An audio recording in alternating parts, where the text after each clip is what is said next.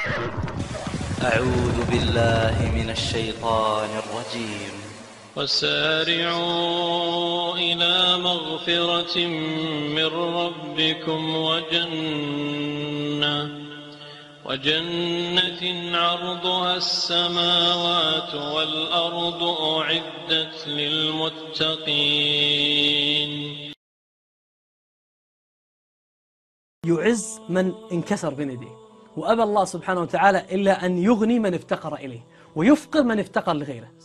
عشان كذا في حديث في الأثر قال الله عز وجل الأثر القدسي وعزتي وجلالي ما اعتصم بي عبد فكادته السماوات والأرض.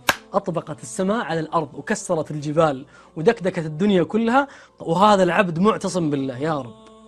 إلا جعلت له بينها مخرجا. الجبال تدككت والمباني طاحت وسقطت وهذا العبد ما جاء شيء. وعزتي وجلالي تكملة الأثر. ما اعتصم عبد بغيري إلا وكلته إلى ما وكل إليه وراح للشيخ عادل ورسائل والشيخ ما تردون من تحولني عليه؟ وراح للثاني والثالث وهذا المسكين الفقير.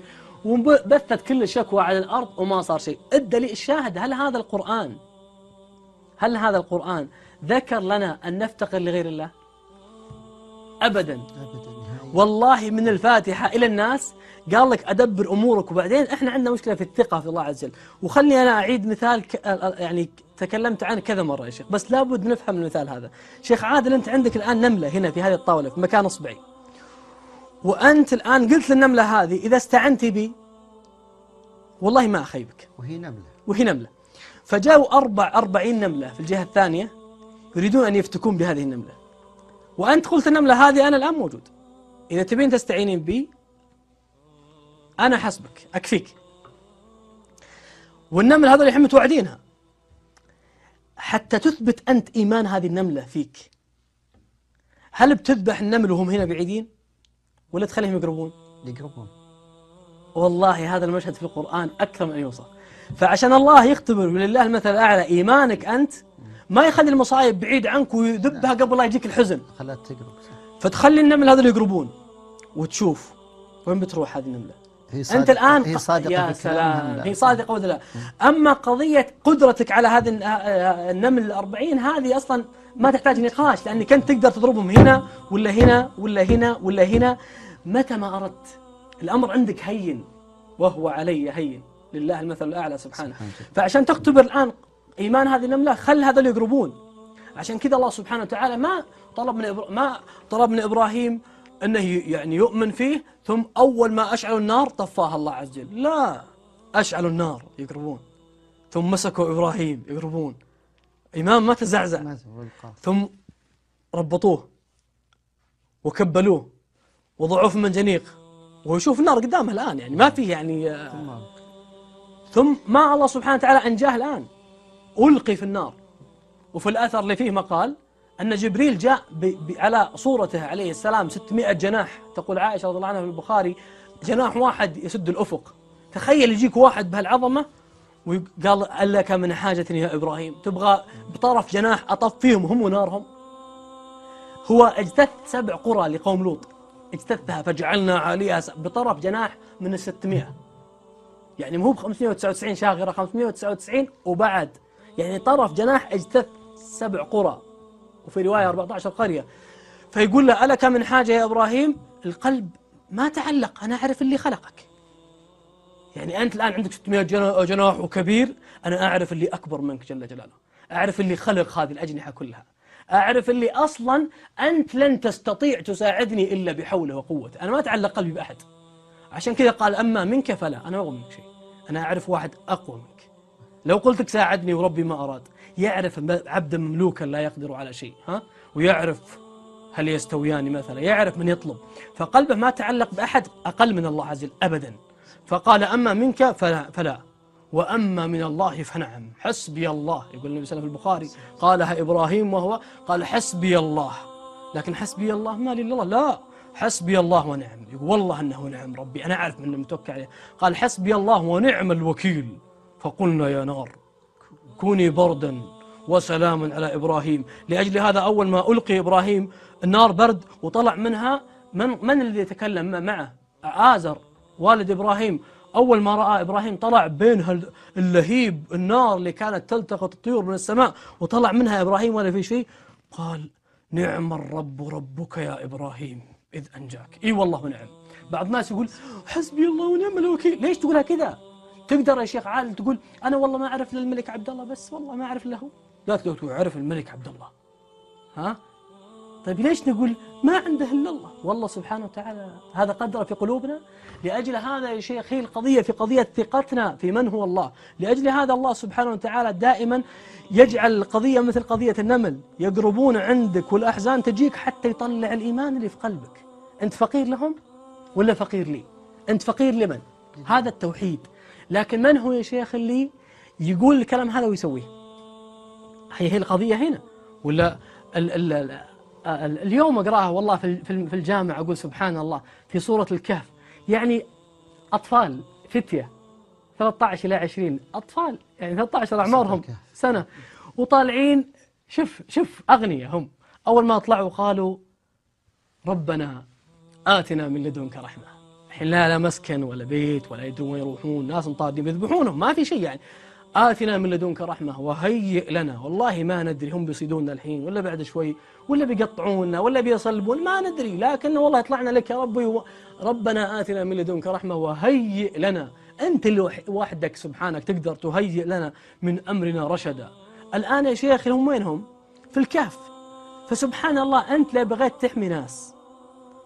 بتحطهم في مكان. آخر مكان بتحطهم فيه الكهف. ليش؟ لأن ما له باب. يعني هذه مصيبة. أصلا يعني الكهف خطر وشوف الله عظيم. إذا أراد أنه ينجيك ما يجعلك في ظروف زينة.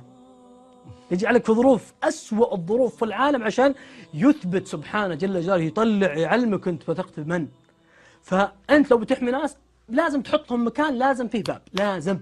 ليش؟ أقول لك ليش يا شيخ عادل؟ حطيتهم عشان يطمئنون. عشان يطمئنون. وبالذات عشان إذا ناموا ما حيدخل عليهم وهم نايمين. الله عظيم. يقول أنا بحطهم في مكان ما في باب وبخليهم ينومون. واللي يقدر يجيهم يجيهم. لا إله إلا الله. لا إله إلا الله. ف ضربنا على آذانهم. شوف وإن مشكلة عندنا يا شيخ. عادل أن نجي نقول يا رب مثلا أعطني هالقضية. أطلب مسألة من الله سبحانه وتعالى. ثم أطلب أنا الطريقة اللي تجي فيها. يا أخي أنت دخلك؟ طريقة هذه أنت طلبت أبغى هالأمر؟ ما هي شغلك شغل الله عز يا سلام. القضية ما هي بع... وهذا مشكلتنا الحين. يا يا أما ما توكلنا على الله ولا قلنا بنتوكل على الله؟ بس أن ما نبغاها كذا يا رب نبغاها تصير كذا. أجل أنت يعني ما عدت فقير أنت أنت غني سوها أنت بنفسك. كيفك؟ أي نعم. عشان كذا إيش معنى التوكل. التوكل هو سكون القلب مع تحرك الجوارح. أنا قاعد أسعى وأقدم الوظيفة وأسوي لكن ما أنذل أحد. قدمت صح الوظيفة لك. قدمت معروض عندك لكن والله ما تعلقت فيك وأدري أنك مسكين أنت. إذا ما أمرك ربي ما بت... ما بتمشيها. ما يعني 13 معروض يقدمون. يقبل منها اثنين. والله والله. إن الاثنين ذولي والله أن يوقع لك عقد ولا ترقية في الأرض حتى يأذن فيها الملك اللي في السماء. والله.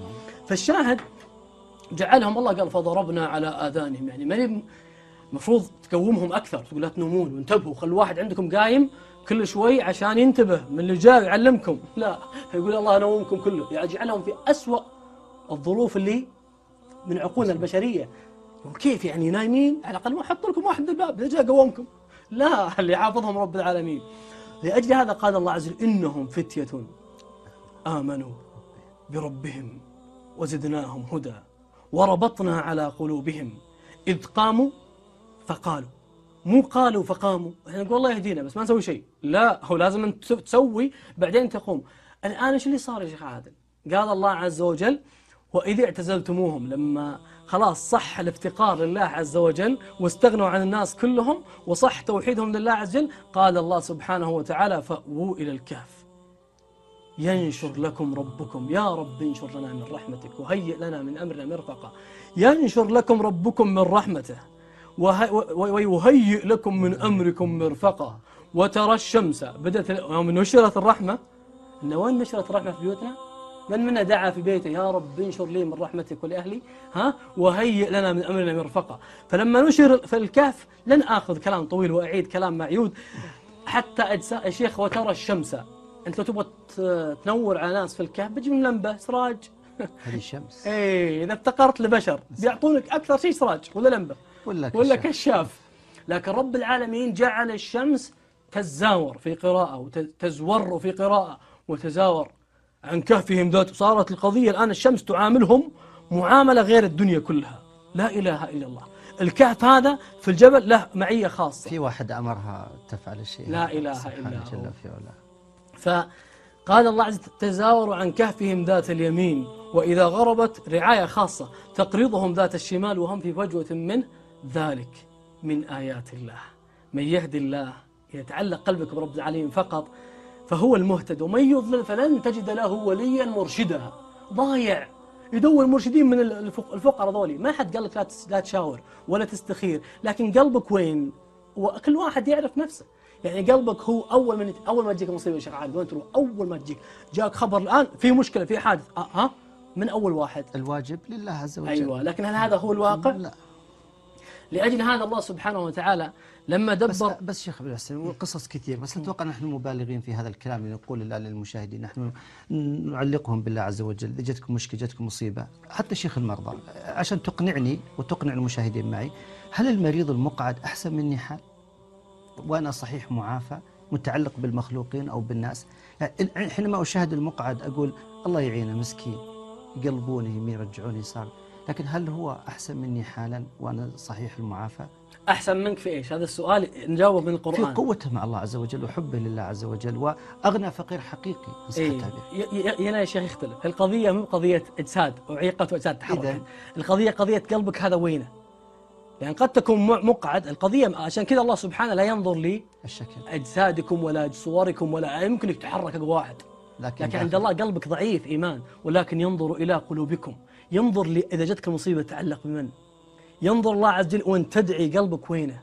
أدعي الله وأنا قلبي متعلق مثل ما جاء في في في الأثر الإسرائيلي وعقل النبي عليه وسلم يقول حدثوا عن بني إسرائيل ولا حرج.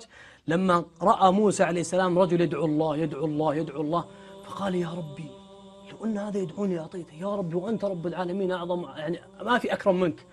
يا ربي هذا رجل يدعوك يعني وقت طويل وما أعطيته. قال الله عز وجل أوحى إلى موسى يا موسى إنك لا تدري إنه يدعوني وقلبه مع غيري يدعيني ويقول يا رب إنه وقلبه بس هل أبو عبد الله بيوقع لي القرار الترقية ولا لا؟ عرفت علي شيخنا؟ فهنا هذه القضية عشان كذا أحس- أحسب الناس وأن يتركوا أن يقولوا آمنا وهم لا يفتنون يقول والله لا أخليك مثل ما جتها النملة ها؟ وخليت النمل يقربون من عندها لين تنافضت في ناس لا هادي عشان كذا هذا ال- ال- ال- ال- ال- ال- أجل مع الأسف شيخ ابن حسين وصراحة يا إخوان كلنا فاشلين يا جماعة الشهوات عشان كذا الله عز وجل. مو كلنا في- في الجملة، في أحسنت الجملة. لأن الله عز وجل يقول أكثر الناس إذا كان هذه مصائب وغصب علينا أيوة. ورحنا للناس أجل إيش يقول في الشهوات اللي بين أيدينا والباب مغلق ولا حد يطلع عليه الا الله عز وجل عشان كذا هذه يحتاج إلى قلب عشان كذا حبيبي هو القضية قضية ترجع لإحفظ الله يحفظك احفظ الله تجده تجاهك لأجل هذا حبيبي الغالي الآن من اللي خايف؟ أصحاب الكهف ولا ولا, ولا اللي يلحقونهم اللي يلحقهم وجهة نظري في اذا صح؟ اذا إذا كان هناك يعني نتيجة. صح. شوف الله كيف يقدر يقلب الأمور كلها. قال لو اطلعت عليهم. شفت كيف؟ من اللي خايف الحين؟ شوف يعني أنت لا تتصور بعقلك الصغير نتائج. هذا عقل الصغير. وقدرة الله. إي نعم هذا العقل الصغير الفقير للناس. أما الفقير لله عز وجل يعلم أنك ما في يدك شيء الأمر كله لله عز وجل ما ما عندك. عشان كذا الناس الآن اصحاب الكهف خايفين. بس تعلقوا بمن؟ بواحد. تعلقوا بالله عز وجل. فنومهم. خطير الوضع هذا. نايمين؟ يعني سهل تقبض عليهم. وحطهم في كهف. ما في باب. سهل تقبض عليهم. وخلى اللي يقرب من عندهم لو اطلعت عليهم لوليت منهم فرارا. ولا ملئت. وفي قراءة لملئت منهم رعبا فالله قادر يخليك اللي أنت خايف منهم يخافون منك. لكن أنت وين تعلقت فيه؟ إيه تعلقت ببشر بشكواك بتطول وأم قضيتك بتطول. والله ما بتحصلها.